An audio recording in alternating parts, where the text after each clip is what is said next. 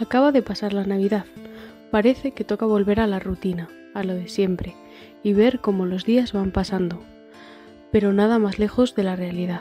Jesús acaba de nacer, y si nos fijamos bien, solo acaba de comenzar la gran aventura. Tenemos por delante el reto de vivir como lo hizo Jesús.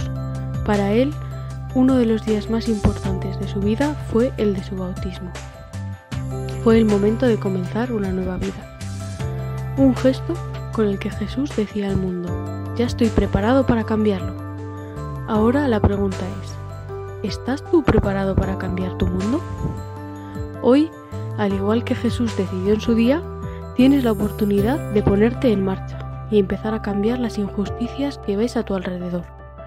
Frente al individualismo y la ambición, Jesús nos propone un bautismo de amor, compromiso, justicia, solidaridad, comunidad y bondad. El mundo necesita más que nunca testigos del amor de Dios